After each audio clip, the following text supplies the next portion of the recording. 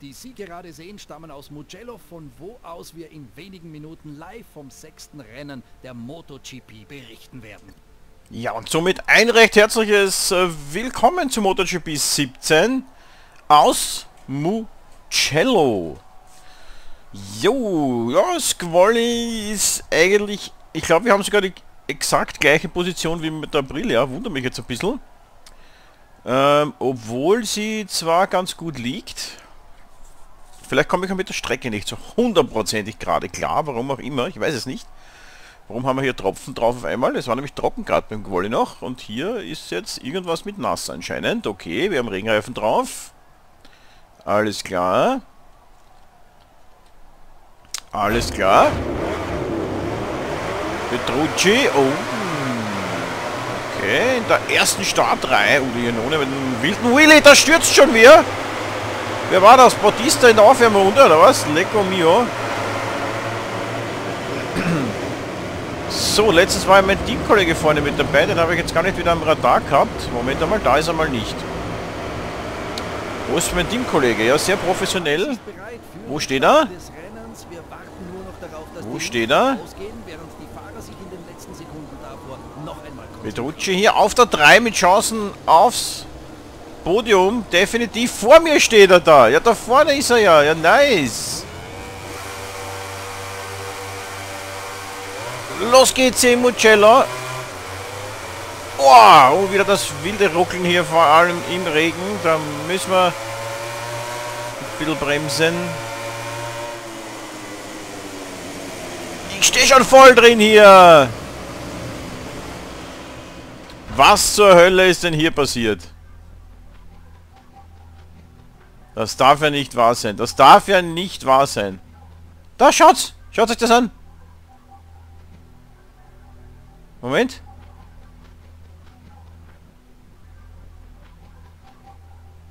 Ja. Ja, ich gehe aber hier im Prinzip...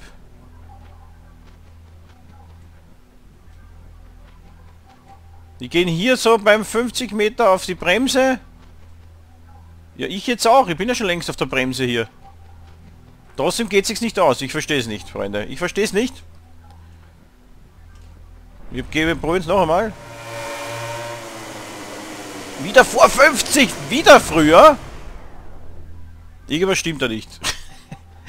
das, das kann nicht sein, oder? Das kann nicht sein. Eieieiei. So, ja, und genau das will ich eben nicht, dass mich dann von hinten wieder 17 überholen. Na gut. Okay, kleiner Bernie-Bonus. Aber jetzt geht's dahin. Die berühmte Startphase.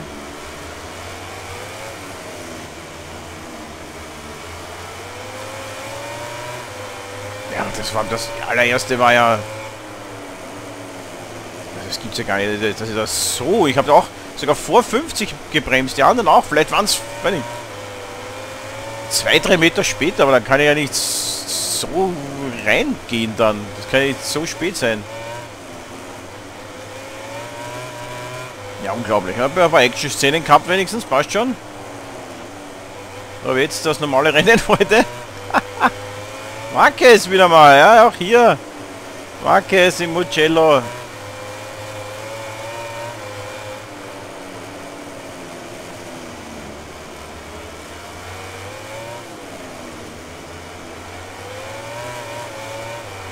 Mal schauen, wie die Suzuki hier im Regen liegt.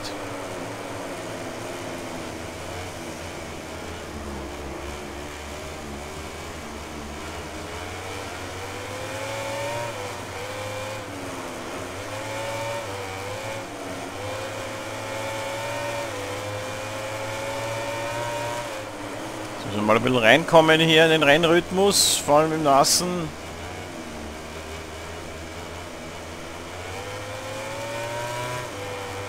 Ist mein Teamkollege? Ah, da hinten ist er aber schon, glaube ich. Hinter Lorenzo ist schon äh, Devise. Devi, Devide, Devise, wie heißt er? Rossini auf jeden Fall.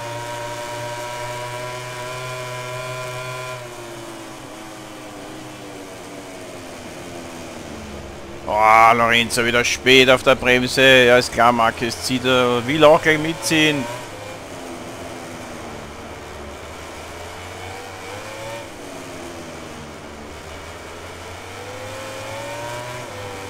Crutchlow hat schon abgerissen da nach vorne. Wir versuchen da mal reinzugehen.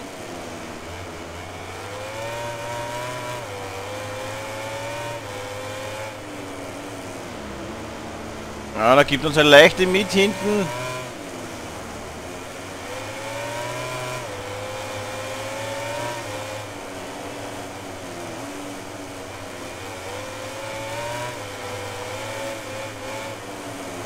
Das nützt gleich mal Lorenzo hier.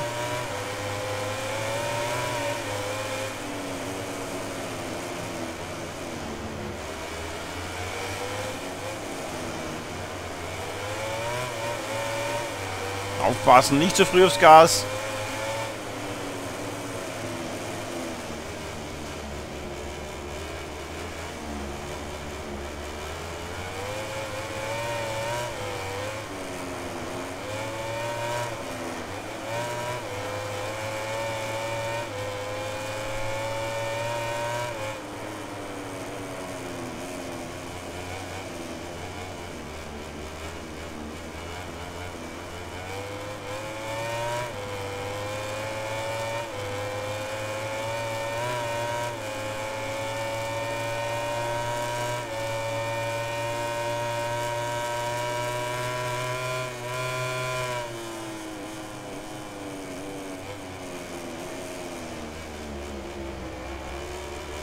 Schauen wir mal, ob wir da mitgehen können vorne. Dovi in Führung auf jeden Fall bei seinem Heim Grand Prix.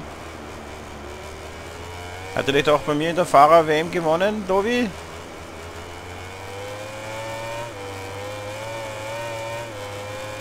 Weiß ich schon gar nicht mehr.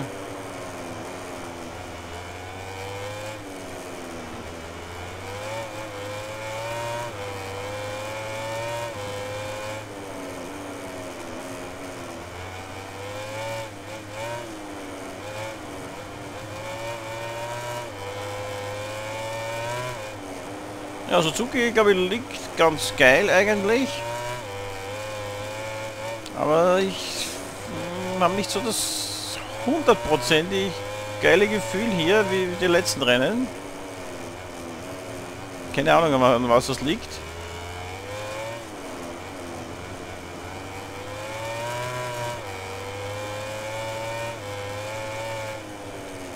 Vielleicht ist auch meine Tagesform, ich weiß es nicht. Rossi vorbei und Tobi vorne. Die zwei Italiener fighten um den Sieg beim Heim Grand Prix.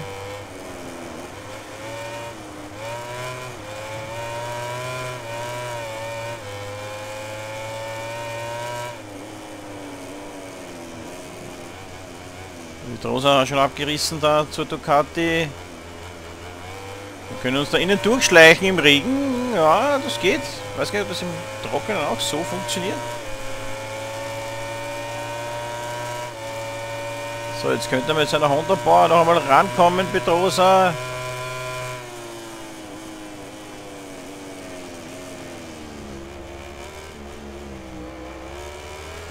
Ah, vor uns Petrucci auf der 4. Ja gut, einen Platz hat er verloren.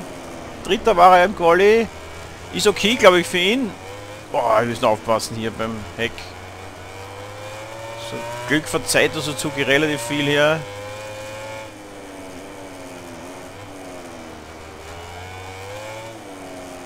Zum Glück.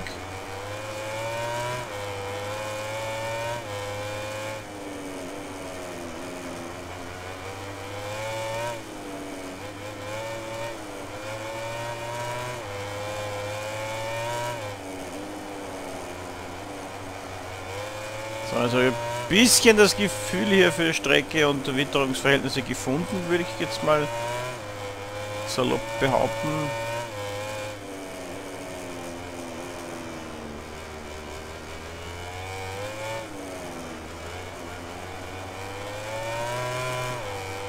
Trotzdem fühle ich mich nicht so ganz wohl hier.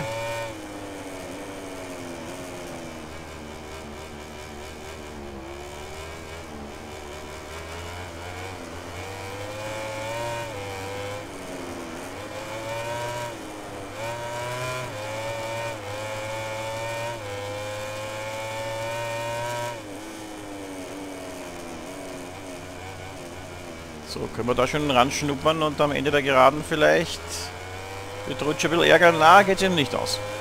Aber vor allem er mit seiner Ducati hier, mit der Pramac. Hat ja auch einen Top-Motor drin. Wird schwierig, wenn wir nicht die Windschatten sehen. Da, unser Suzuki ist jetzt auch nicht so schlecht eigentlich. Aber ich glaube, mit der Ducati kommen wir nicht ganz mit mit der Leistung, hundertprozentig.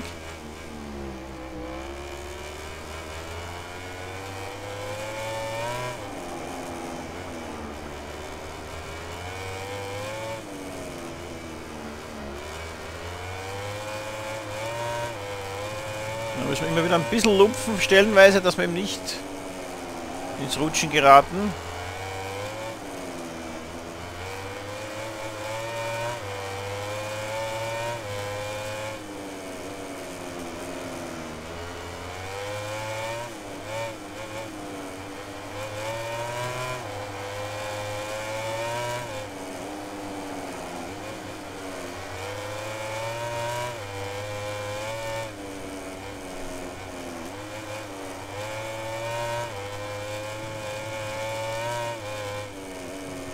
Das Kohle war wirklich schwer. Die haben gute Zeiten gefahren, die Jungs.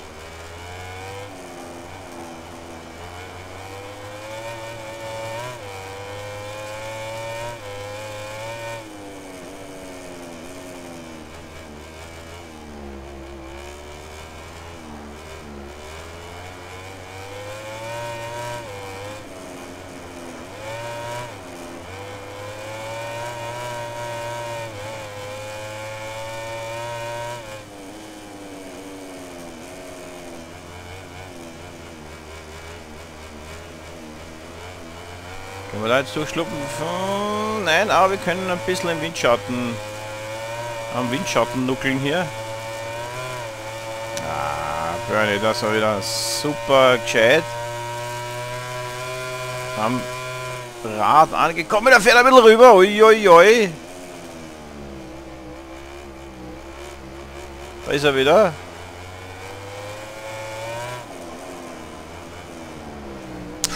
Oh, ich habe es noch gedacht.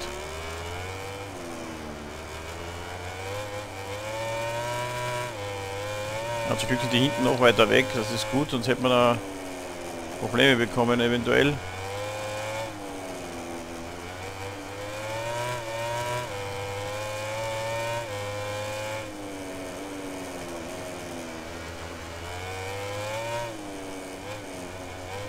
Sehe ich da Tobi auf der 3? Oh, oh, oh, oh, oh, oh, oh, oh, oh.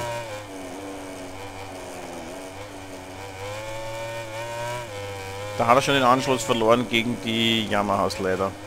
Das ist schlecht, WM-technisch natürlich. Wenn Tobi nicht einmal bei seinen starken Rennen gewinnen kann, dann wird es schwierig.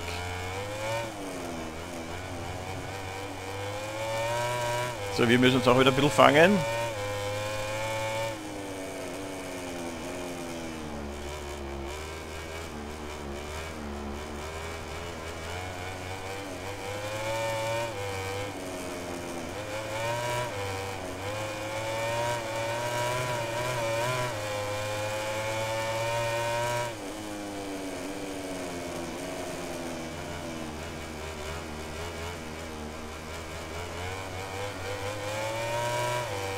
So, wir sind mal durchgeschlupft.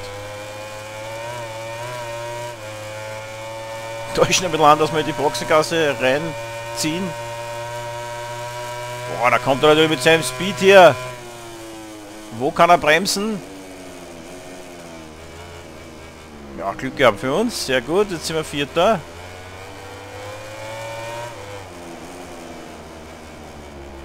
Warum gehe ich denn jetzt weit? Warum gehe ich denn jetzt weit? Ja, weil ich wollte, dass der innen reinsticht.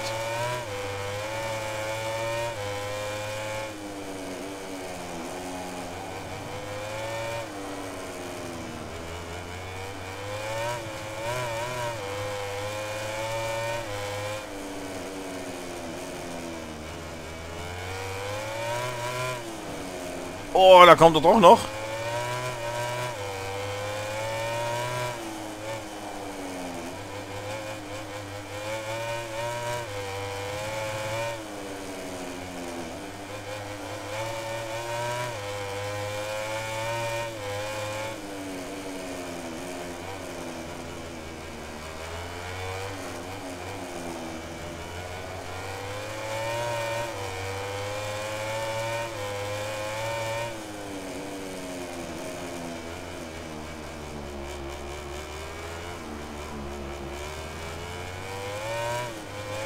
Aufpassen.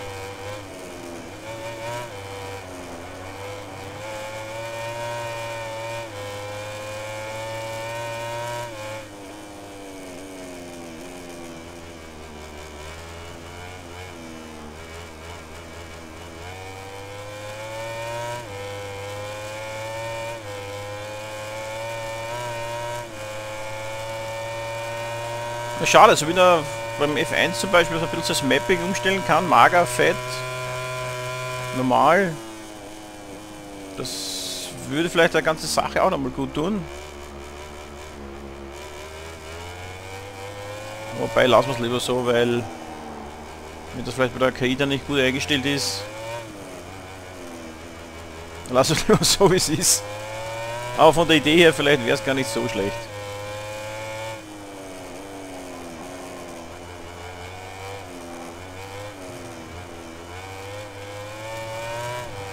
Aber das wenn vielleicht nicht allzu stark wäre, um zu, das umzustellen, dass man vielleicht nur maximal, wenn man fett dreht, vielleicht die eine oder andere Zehntel dann schneller ist. Und das kann man dann aber auch nicht zu oft, wenn man ja eh nicht so einen großen Tank hat. Gerade mal für vielleicht ein, zwei Runden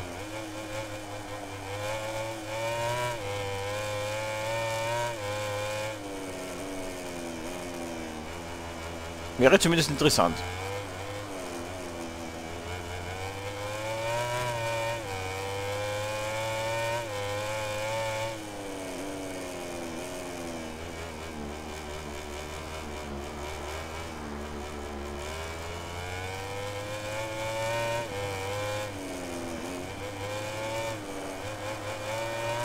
Ah, unsauber ein bisschen gefahren jetzt von hier von Bernie. Eieiei. Ei, ei.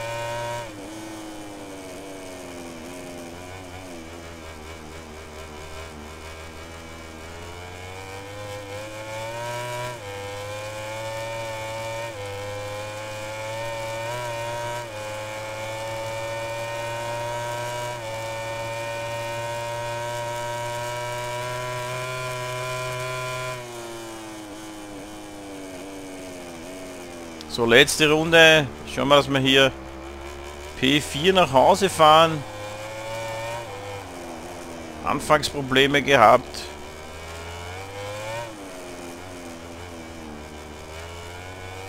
Ja gut, Regen auch und Trockenen hätte ich mal Spur mehr ausgerechnet vielleicht. Regen mag ich generell nicht, auch nicht in der Formel 1. Das ist einfach nicht meins.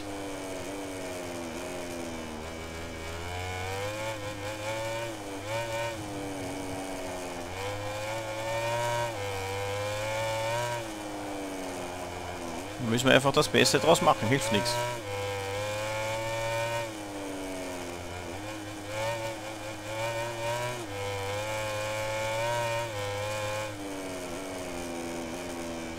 Obwohl ich es hier in der MotoGP noch besser finde, als wenn Formel 1, zumindest der Starkregen, der leichte geht eigentlich noch. Aber Starkregen beim Formel 1 ist ja eine Katastrophe, finde ich. Da ist das Feeling irgendwie, ich weiß nicht. Also ich, ich für mich persönlich, ich mag es nicht auf den meisten Strecken. Ich weiß nicht. Das war in früheren Teil, bin ich Meinung, irgendwie anders zumindest. Jetzt schwimmt man da zu viel und ich weiß nicht, das ist irgendwie eigenartig. Das Gefühl. Na ist schon klar, dass man weniger Grip hat, das ist schon logisch. Aber ich kann es nicht ganz beschreiben.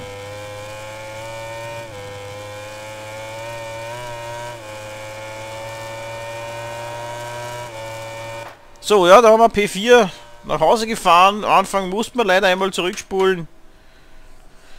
Ich hätte geglaubt... Ja, wir haben eigentlich alle kurz vor 50 Meter da gebremst, auch ich.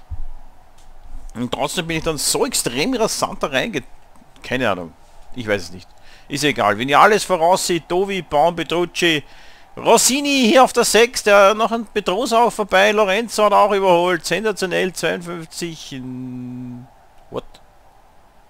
52-0. Okay, letzte Runde gar nicht einmal so schnell eigentlich. Obwohl Pedrosa 51-7. Hm, komisch. Naja, gut. Wie auch immer, Vinales voraussehe, wir auf der 3 mit unserer Suzuki Noch die einzigen, ja gut, wir haben viel Rückstand. Dann Dovi vorbei an Marquez, ja Marquez. Und Dovi, ja sag ich mal, haben den Anschluss schon wieder verloren nach tapferer Anfangsphase in äh, beiden Serien bei uns. Ist dann irgendwann über die, über die Länge, über die Strecken geht ihnen dann punktemäßig, punktemäßig leider, leider immer wieder die Luft aus. Hier wieder ganz schlechte Performance von Marquez. Naja. Was soll man sagen? Schade einfach nur.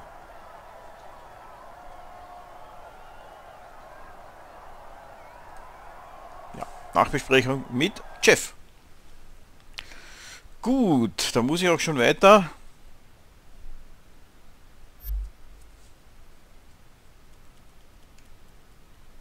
Davis von 9 auf 6, perfekt.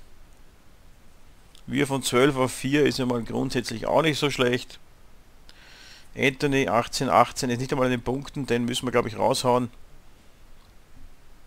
Sonst alle anderen 3, 3, 2, 2, 2, 2. Perfekt.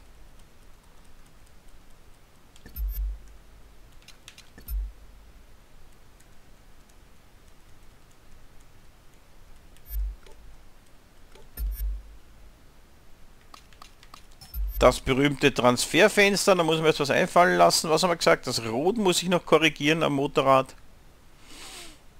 Und erinnert mich, falls ich noch irgendwas machen wollte. Ah genau, die Honda wollte man uns noch kaufen, oder?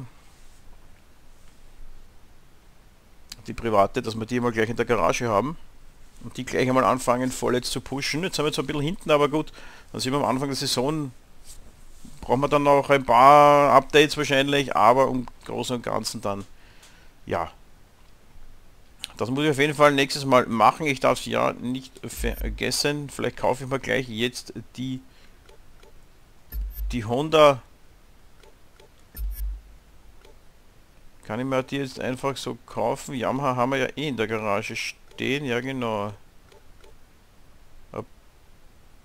Brille habe ich, habe ich auch noch keine private. Das wäre in der in der Manager-Karriere, wenn man die Honda, wenn man, sollte man da überlegen sein, könnte man uns auch noch eine private Aprilia kaufen. Das ist auch noch eine Option für uns hier. Ähm, ja, ich glaube Kohle haben wir eh genug. Ja, das glaube ich auf jeden Fall. Gar nicht drauf geschaut. Jo, da haben wir es jetzt und jetzt werden wir uns überlegen, wie wir die noch designen werden, unsere Honda auch. Aber da haben wir eh noch lange genug Zeit, aber gerade so im ersten Blick, die schaut ja gar nicht so scheiße aus. Aber gut, dann lassen wir uns noch was einfallen.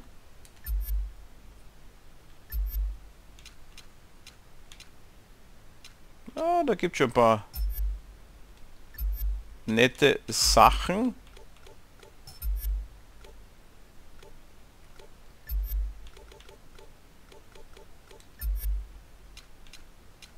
Ja, auch okay.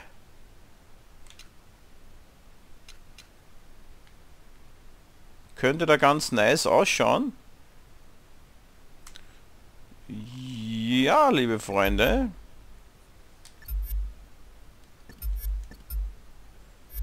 Das werden wir jetzt einmal so einfach bestätigen.